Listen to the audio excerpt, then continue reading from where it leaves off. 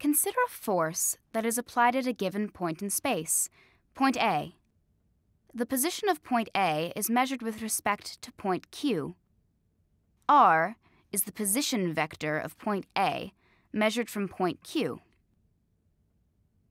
The torque about point Q is defined as the vector product of the position vector and the force.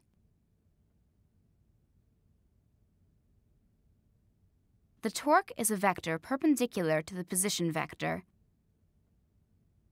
and is also perpendicular to the force vector. As a result, the torque is a vector perpendicular to the plane defined by R and F. The direction of the torque is given by the right-hand rule. To apply the right-hand rule, put the fingers of your right hand along vector R and bend them towards vector F. Your thumb will point in the direction of the torque. If the force is now applied in a different direction, after applying the right hand rule, the thumb will point in the direction of the torque.